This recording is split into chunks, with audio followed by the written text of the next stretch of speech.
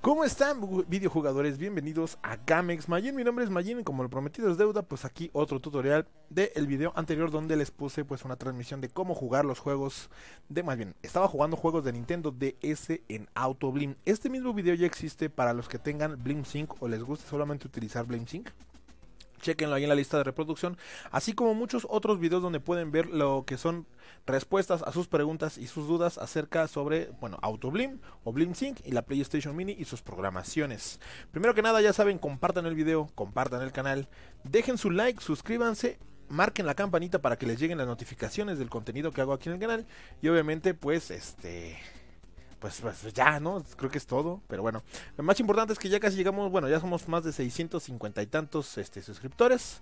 Así que gracias por el apoyo. Y obviamente, primero que nada, para empezar a hacer este tutorial, yo eh, tal vez me tarde un poco porque es bastante extenso lo que tengo que explicar. Aunque es muy fácil, muy sencillo programar nuestra consola con este Drastic, que es el programa, o más bien el core modificado o parcheado que va a utilizar AutoBlim para reproducir juegos de Nintendo DS en la consola. Para aquellos que digan, es que luego, oye, puro contenido de te haces bla bla bla y tardas mucho en explicar. Ok, si esos que luego a veces se quejan de que los videos empiezo muy tarde o muy lento en explicar las cosas, es porque muchas veces ustedes me andan preguntando cosas que vienen en el video y yo estoy explicando. Así que quede bien claro que pregunta que me hagan aquí y viene respondida en el video, van, no les voy a contestar. En el video viene la respuesta. Y todos aquellos que quieren un video súper corto donde creen que van a entender todo como si fuesen eruditos o sabios, de una vez les digo que no es así.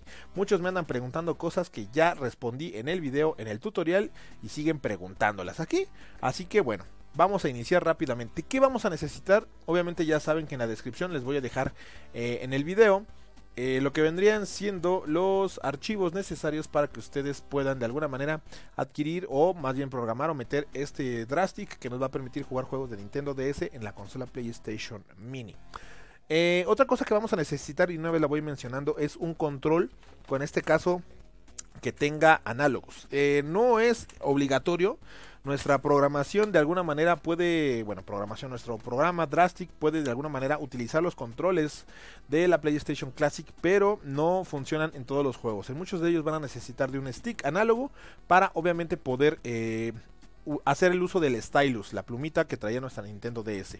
Y obviamente, pues bueno, eh, ¿por qué vamos a utilizar este Drastic? Porque obviamente eh, los dos núcleos o cores que vienen en la consola y que nos invitan a poder jugar estos juegos de Nintendo DS, la verdad es que vienen muy mal, no reproducen muy bien los juegos, pero bueno, eso ahorita ustedes lo van a ver, ¿ok? Entonces, primero que nada, pues vamos a iniciar, más que nada, eh, Ustedes les voy a dejar en el enlace de la descripción estos enlaces que están aquí para estas páginas. Una es en Reddit, donde nos dejan el enlace para descargar el patch 0.9 eh, de eh, Retroboot para Drastic Launcher. Y en el otro tenemos un archivo de descarga que es el PSC Drastic. ¿Ok? Estos, bueno, aquí como pueden ver en el lado derecho de, la, de mi escritorio, de la compu, tenemos los archivos y los vamos obviamente a descargar. Vienen comprimidos y los vamos a descomprimir. Eh, voy a hacer el proceso en esta memoria USB que tengo aquí, que es con la que por lo regular eh, tengo el RetroArch versión XMB. ¿Qué es esto de versión XMB? Es la versión del menú que parece mucho a la de PSP o el PlayStation 3, donde todos los menús se cruzan en forma de X, que es el Cross Media Bar. Y eh, bueno, lo voy a mostrar en esta USB porque, como habrán visto el video anterior a este, eh, ahí tengo una interfaz diferente. Aunque el proceso es exactamente el mismo para que muchos de ustedes no se confundan, ¿ok? Pero si vas a hacer el proceso es exactamente igual en cualquiera de sus dos menús o versiones de RetroArch en, en AutoBlim, ¿ok? Esto lo puedes utilizar en AutoBlim 0.7, 0.71, 0.6 si gustas, pero yo siempre recomiendo que obviamente actualicen su eh, tanto AutoBlim como su RetroBoot y pues obviamente para que tengan más posibilidades de compatibilidad con los juegos, los programas, los cores, todo ese tipo de cosas. ¿Qué vamos a hacer? Como pueden ver aquí está mi memoria USB, tenemos el AutoBlim, el RetroArch, la, la carpeta de números y letras, juegos y rooms. Ok, primero que nada vamos a abrir lo que es el archivo comprimido que dice RB09 Patch. ¿Y qué tenemos aquí? Pues bueno, vamos a tener esta carpeta que se llama RB Patch. ¿Qué vamos a hacer? Simplemente la vamos a pasar a nuestra raíz de la USB. Ya saben que su memoria USB debe ser compatible, debe de estar formateada en FAT32 con el nombre Sony en la etiqueta de volumen y obviamente ahí van a tener todo. Si ustedes no han programado eh, su consola PlayStation Mini, háganlo con los tutoriales que tengo aquí en el canal, en la lista de reproducción y obviamente pues, eh, ¿cómo decirlo?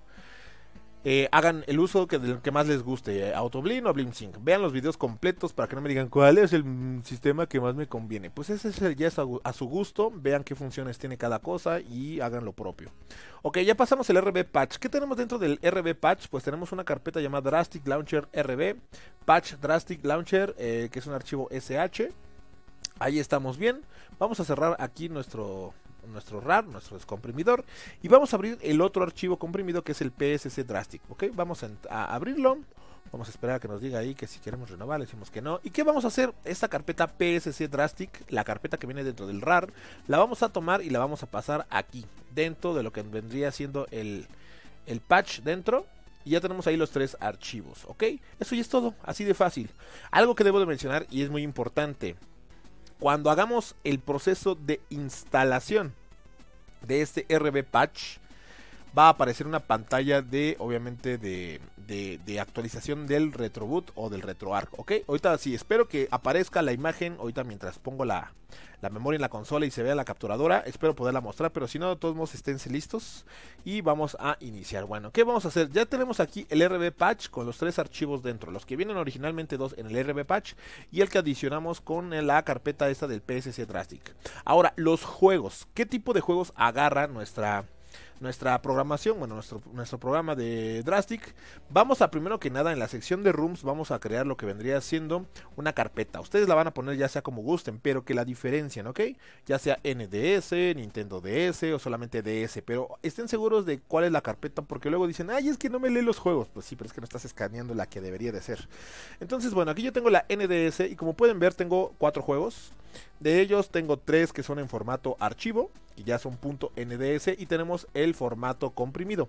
El programa o la, aplicación de Drastic agarra los juegos en cualquiera de sus dos formatos. En algunos casos, como me lo mostré en el video anterior, en el, en el directo, a veces tú escaneas la, carpeta de archivos y no muestra todos los juegos, pero casi en su mayoría todos son reproducibles. Si algunos no aparecen en tu lista de reproducción, vas a tener que reproducir estos juegos desde el menú de cargar núcleo o cargar juego y jugarlo desde ahí, ¿ok? Para que vayamos poniendo las cosas en orden. Pues bueno, los juegos ustedes los meten, ya saben que aquí no hay enlaces de cómo conseguir los juegos, en este caso para la Nintendo DS, ustedes búsquenlo en internet, no creo que sea tan complicado, no creo que no puedan hacer algo tan sencillo como buscar en el navegador y ponerle ahí tal y que salga el juego y lo descargan. Pueden descargarlo y pasarlos en formato comprimido para que no haya tanto espacio, eh, por así decirlo, este tanto espacio en su memoria y abarque menos, pero lo que más les guste, ¿ok? Si alguna vez el juego no llega a agarrar bien es por cuestiones de que a lo mejor ese juego no está bien transformado o pues comprimido, qué sé yo. Busquen otra versión y lo ponen. Ok, vamos a darle aquí a la memoria, le vamos a dar expulsar ya una vez que pasamos los archivos y los juegos. Vamos a irnos a salir. En esta ocasión yo me paso a lo que vendría siendo, permítanme, mi consola. Ahí está, vamos a cerrar esto, esto y esto, ¿ok? Vámonos a lo que vendría siendo la consola. Voy a meter la memoria USB. Recuerden que su memoria con la programación, cualquiera que sea, debe de conectarse a la consola en el puerto derecho y obviamente deben de eh, tener la consola desconectada, ¿ok? Ya una vez que metan su memoria USB, conectan la energía con el cable eh, USB y esperamos a que inicie. Vamos a encender la consola. Yo voy a encender mi televisión porque por estarme esperando la, eh, pues la televisión se apagó, tiene el apagado automático. Entonces vamos a esperar, ahí está. Y como ven, bueno, ahí está el auto Vamos a esperar un poco, déjenme que se vea acá en la pantalla de mi televisor. Acá tengo mi control. Y le vamos a dar, obviamente, eh, bueno, va a escanear porque obviamente yo he metido los archivos que originalmente, este, como, como si hubiera restaurado mi memoria USB desde el inicio, como si estuviera metiendo recientemente la programación. Vamos a darle escanear. Déjenme bajar el volumen. Si en dado caso algunos ya saben de ustedes que les pasa que a veces el idioma del Autoblim está en inglés, vamos a apretar lo que es el botón select. Vamos a irnos a inglés. Acá en inglés, perdón, en español. Yo bien bilingüe. Y obviamente aquí me pone la opción como si no hubiera hecho esto. Vamos a ponerle ahí eh, widescreen. Vamos a regresarnos y ya está en español, ¿no es cierto? ¿Por qué? ¿Por qué me haces esto? Tenemos que darle a X, perdón. Vamos a darle Spanish. Vamos a darle aquí y le vamos a dar aceptar. Ahora simplemente vamos a apretar el botón cuadrado para entrar a RetroArch. En algunas situaciones, eh, bueno, como les digo, ahí está, aparece esa pantalla que dice actualizando retroboot, se apagará y la actualización estará completa. Ahorita se va a reiniciar y como pueden ver, ya actualizó nuestro retroboot con lo que vendría siendo el drastic y con este parche que tiene. Volvemos a apretar cuadrado, vamos a entrar. Ya no aparece esa leyenda debajo del, del bichito de, de RetroArch. Y bueno, eh, aquí como les digo, como si hubiera puesto el RetroArch desde el inicio, porque lo reinicié, lo reinstalé, me aparece en inglés, vámonos para acá abajo en usuario, vámonos aquí, vámonos en español y ahí está, ya tenemos el menú en español. Ahora, ¿qué vamos a hacer? Vamos a hacer algo muy sencillo. Vamos a escanear los juegos, vamos a seleccionar carpeta o escanear carpeta. Aquí yo tengo NDS, vamos a escanear la carpeta. Ya vieron que yo tengo cuatro juegos. Estoy seguro que de esos cuatro juegos puede que nada más me muestre uno, o me muestre tres, o me muestre dos, o me muestre todos. Eso sería bastante bueno. Si no pasa, no se preocupen. No significa que a veces que el juego no funciona. Eso lo tienen que checar aparte. Ahorita lo vamos a hacer todo por pasos para que ustedes estén bien seguros de cómo es que se reproducen los juegos a través de Drastic. ¿Ok? Pues bueno, vamos a esperar a que escanee los juegos. Espero que no tarde mucho. Muchas veces, este, obviamente, entre más pesado sea el juego, más tarda. A veces no. El otra vez este, escaneé uno de PSP y en menos de un segundo ya lo había escaneado. Y estos que son cuatro obviamente y de menos peso, pues tardan un poquillo. Ok, regresamos al menú ya que nos indicó que está lleno y como pueden ver solamente me marcó dos juegos, ok, pero no se preocupen, vamos a probar estos y ahorita les voy a mostrar cómo sería con alguno de los que no mostró. ¿Qué hacemos? Bueno, pues fácil y sencillo, vamos a entrar aquí por ejemplo a Okami, vamos a darle, nos va a dar iniciar y nos va a dar a seleccionar el núcleo. Estos dos son los que vienen por defecto en su PlayStation Mini, en los cores o núcleos de eh, RetroArch. Estos no funcionan, la verdad. Yo los he probado los juegos y la verdad están del asco. Eh, se laguean o de plano, cuando tratas de conectar un control, no te deja utilizarlo porque tienes que hacer una configuración. Ah, es un despapalle. En pocas palabras, no funcionan. Vamos a utilizar lo que vendría siendo Drastic, ¿ok? Voy a darle aquí a X para seleccionarlo. Y antes de iniciar o seleccionar lo que vendría siendo el inicio, voy a quitar mi control. Y en este caso yo que tengo un control de Xbox One lo voy a utilizar. Si ustedes tienen alguno de Play 4 o alguno de PC que sea USB, utilícenlo. En especial en fácil les voy a decir que el de Play 3 es el que más problemas tiene porque por alguna extraña razón lo conectas y solamente funcionan como tres botones. Y lamentablemente no podemos entrar a la sección de configuración de control con uno de Play 3 porque no podemos entrar en el menú que viene internamente en Drastic, ¿ok? Pero bueno, vamos a darle ahí iniciar, ya tengo aquí el Xbox One. Como pueden ver aparece en formato vertical. Vamos a transformarlo, lo vamos a cambiar y obviamente estas configuraciones pues las vamos a ajustar a nuestro gusto. Obviamente si quieren hacer la configuración que yo coloco, adelante, si no pues ahí jueguen un poquito con las opciones, pero no muevan cosas que no porque si lo joden van a, bueno, simplemente sería volver a, borrar toda su memoria USB con los archivos de AutoBlim, RetroArch, eh, la de números y letras y sistema para poder volver a instalar esto, ¿ok? Pero bueno, ¿qué vamos a hacer? Vamos a apretar el botón, en su caso si es de PlayStation, L2. En el caso de Xbox es LT. O el izquierdo, el gatillo izquierdo del control USB que tengan. Y nos va a mandar a este menú. Aquí vamos a entrar con el botón círculo o con el botón B del Xbox a Change Options y aquí vamos a ponerle horizontal. Así de sencillo. Vamos a irnos hasta abajo. Yo no recomiendo mover ninguna de estas otras opciones a menos de que sepas qué vas a hacer. Y simplemente vete hasta abajo donde dice salir y salvar para todos los juegos. ¿Ok? Vamos a darle ahí. Obviamente vamos a bajar a la siguiente que es eh, configurar firmware. Me estoy saltando la de controles porque primero quiero que veamos esto que es firmware, ¿ok? En firmware solamente lo que vamos a cambiar es poner idioma en español. ¿Por qué? El menú, la interfaz de Drastic no se va a poner en español. Lo que va a hacer es que si tu juego es multi-idiomas va a detectar el idioma que seleccionas por defecto y obviamente lo va a colocar cada vez que inicies ese juego. Obviamente si el juego no trae idioma en español va a venir en el idioma original o los idiomas que contenga. Vamos a seleccionar otra vez salvar para todos los juegos y ahora sí nos vamos a ir lo que vendría siendo configurar controles. En este aspecto hay que mencionar algo rápido. Tenemos dos configuraciones de control aquí mismo. Este que pueden ver aquí en color azul, que se encuentra en esta área que está pasando el cursor, vendría siendo el control 1 y el que se encuentra a la derecha es el control 2. Y tú dirás, carajo, ¿se puede jugar de a dos jugadores en Nintendo DS? No. Lo que pasa es que, bueno, está pensado en algún sentido que si tú quieres utilizar o nada más tienes estos controles de la PlayStation Classic, en el lado izquierdo configures todos los botones que comúnmente utilizamos, los de brincar, saltar, acción y los de movimiento, más los L y R, bueno, en este caso sería L1 o R1. Y eh, en el control de la derecha o en la opción de eh, configuración de la derecha, podrías configurar el segundo control para que haga las funciones que no existen aquí por la cuestión de que no tiene la palanca o las palancas. En este caso podríamos poner que en el segundo control, donde te pones el de movimiento, muevas el stylus o la plumita del Nintendo DS y que con alguno de los otros botones pues selecciones la opción de touch como la que tiene la función de las consolas Nintendo DS. ¿Es desmadrosamente complicado? No, pero muy fastidioso tener dos controles y que en algún momento tengas que agarrar el otro para usar el stylus, aceptar o seleccionar y volver a tu primer control, obviamente conectando los dos controles a la consola y seguir jugando. Entonces yo sí realmente recomiendo ampliamente que tengan un control con palanca, ¿ok? Bueno, ¿qué vamos a hacer aquí? Vamos a seleccionar en este caso los movimientos de los botones. En este caso el D-pad es la cruz direccional, la vamos a seleccionar, voy a ponerle ahí arriba, abajo, izquierda, derecha. En el caso del botón A voy a utilizar el mapeado que tengo aquí de los botones de Xbox, ya que los de Nintendo, si no me equivoco, vienen a la inversa. El A es B, el B es A y el X es Y y Y es X. O sea, es un desmadre, pero yo los voy a poner tal como los tengo aquí.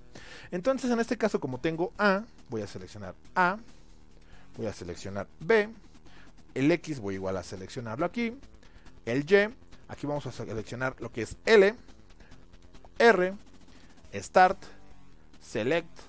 Y este lo voy a brincar. No me acuerdo para qué es, pero mm, no, no, lo, no lo cambien, no lo utilicen. Y aquí sí, en esta parte donde dice Touch Cursor Up, Down, Left, Right, vamos a poner los movimientos de nuestra palanca, nuestro stick izquierdo, de la palanca izquierda. En este caso, bueno, vamos a ponerle arriba, abajo, izquierda, derecha. Y el último función es para el touch, para cuando tú tenías la función de touch en tu consola Nintendo DS, apretabas o seleccionabas una opción. En este caso, esa opción la voy a colocar en lo que vendría siendo el R3, ¿ok? Vamos a seleccionarla y le vamos a dar. ¿Para qué? Para que tengas la libertad de mover el stylus con la mano izquierda y seleccionar o hacer el touch con el dedo derecho de tu palanca. Ok, entonces bueno, ya una vez hecho esto, vamos a hacer lo, eh, obvio que es salvar esto para todos los juegos. ¿Qué va a pasar? Que no importa cuántos juegos escanees después, te va a igual a dar la opción de qué núcleo quieres usar. Vamos a darle Drastic, pero cuando entre el juego ya va a tener la configuración que dejaste por defecto en el primero que configuraste, ¿ok? Eso va a ser una gran ventaja. Simplemente nos vamos a ir a Return Game y como pueden ver ya está en modo horizontal y ya tiene la configuración como pueden ver aquí. Ya tenemos el stylus, ahí está girando y obviamente podemos tocar la pantalla.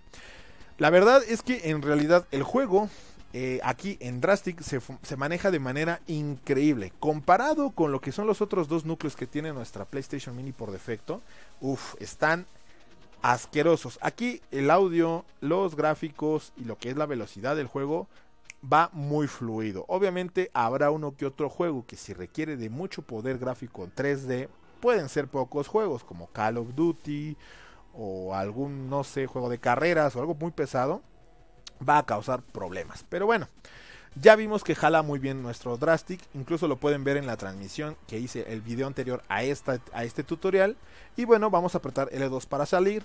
Algo que debo de mencionar bien importante es las partidas, cómo se guardan. Aquí puedes seleccionar este que es el Load State y el Save State. El Save State, por ejemplo, nosotros podemos darle que queremos guardar aquí. Vamos a regresar al juego. Vamos a esperar a que pase un poco la escena. Por ejemplo, por así decirlo, vamos a cortar esto. Y podemos, por ejemplo, volver a cargar este archivo. Y como pueden ver, vuelve a regresar donde guardamos exactamente. Pero igual puedes guardar partida como cuando juegas cualquier juego dentro. O sea, como cuando juegas Resident, llegas a la máquina de escribir, grabas ahí y ahí se queda tu guardado. Entonces tienes dos tipos de guardado. El que quieras utilizar. El que se hace de manera natural en el juego o el que está afuera, que es como guardado rápido. Otra cosa que debo mencionar es que, por ejemplo, jamás pongan esto de cargar nuevo juego. No va a funcionar. En el, en el Sync funciona, sí, puedes cambiar los juegos que tú quieras. Aparece un menú donde puedes seleccionar los juegos y obviamente eh, lo puedes cambiar sin necesidad de salir de este Drastic. Pero aquí si lo seleccionas, la verdad es que el juego se buguea y se sale automáticamente. Entonces no queremos que vaya a haber algún tipo de fallo con los archivos. Vamos a darle a salir y sencillamente seleccionamos otro juego. Como no hemos seleccionado lo que vendría siendo, por ejemplo, Jump Superstars, vamos a seleccionarlo. Nos va a dar que con qué núcleo queremos iniciar.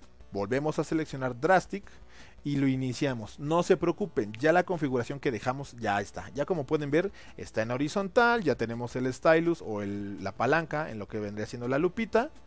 La lupita, que lo que quiere, bailar, no, no, no, no, no, no, o sea, cállate.